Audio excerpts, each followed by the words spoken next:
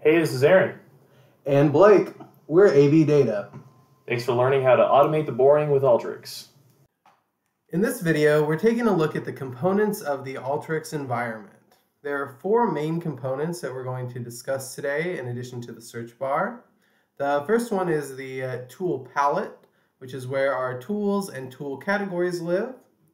The second one is our canvas, which is where we uh, build our workflows, we connect our tools. The uh, third one is very important. Uh, this is our configuration panel.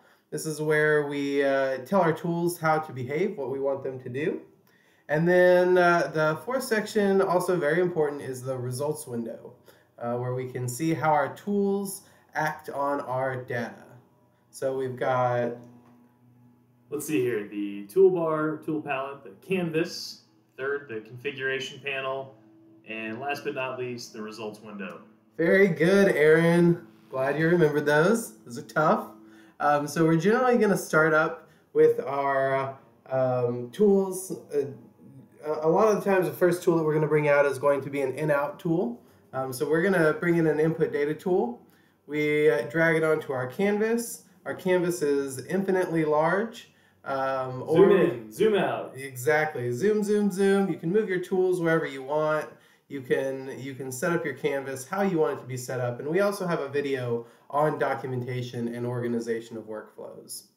We're going to use our configuration panel to uh, choose the file that we want to look at. Uh, we're going to look at one sheet in a uh, demo file that we have here. We'll hit the run button to have our data get pulled through. We can also always change how our tool's configured. I'm going to go ahead and bring in a select tool next. Um, you'll notice that the select tool has a different looking configuration panel, and most tools do because tools do different things, they need to be configured differently.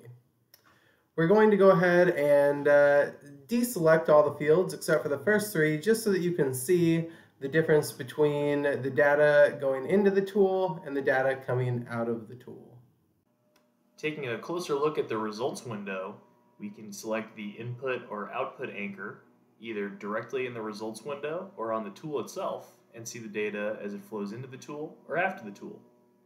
And lastly, the search bar in the top right corner allows us to search for tools and topics, even looking through the Alteryx documentation and the community.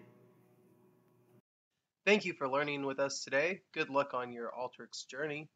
For more information on custom training, managed service automations, and more, please visit our website at abdataconsulting.com.